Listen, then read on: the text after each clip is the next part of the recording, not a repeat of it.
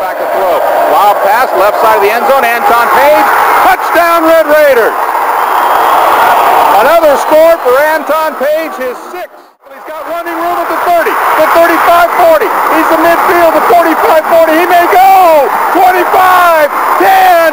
Touchdown, Red Raiders. The Red Raiders have won in overtime at Kyle Field in College Station, knocking off the number 23 Texas A&M Aggies.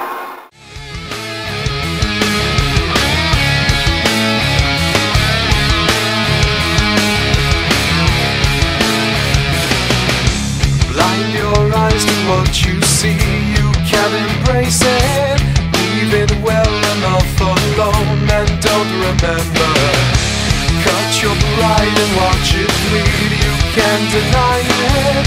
Pain you know you can't ignore, I don't remember.